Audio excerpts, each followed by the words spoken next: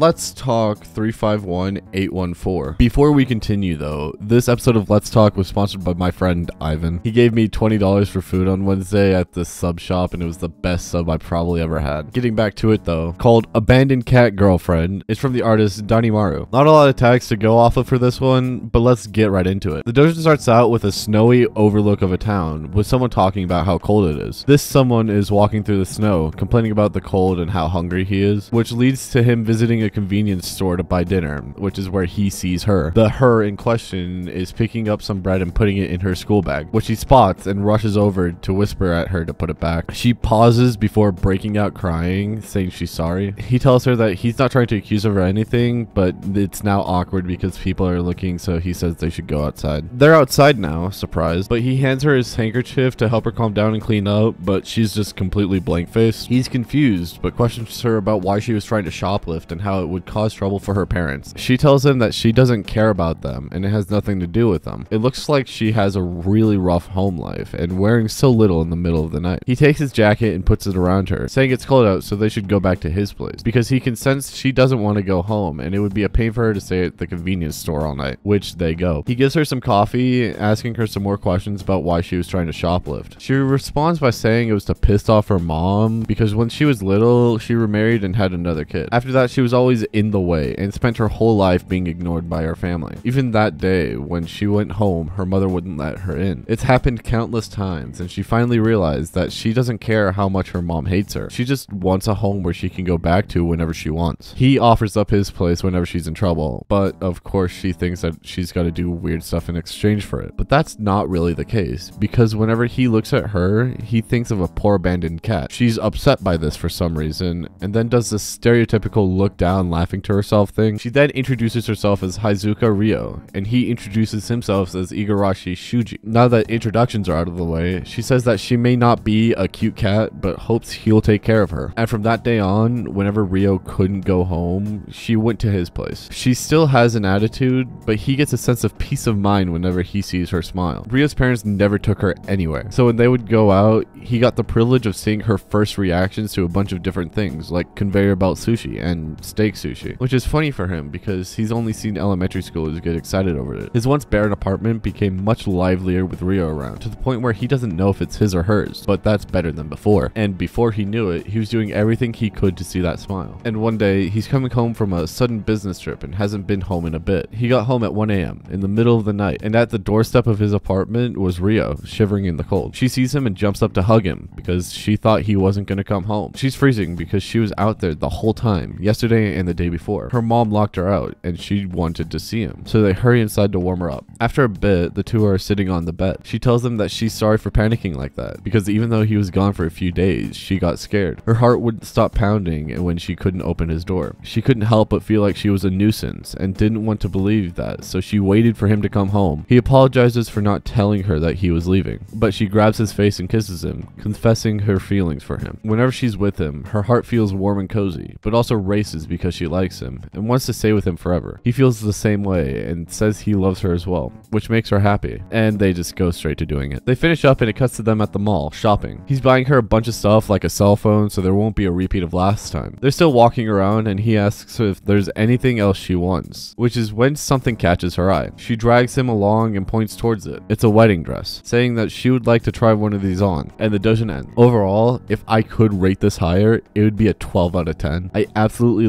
love this story and love the characters. The art style is absolutely immaculate and incredibly adorable. I recommend you check it out for yourselves as always. Again, big thanks to Ivan for that sandwich. His Instagram will be linked below. That's all I got. I'll see you in the next one.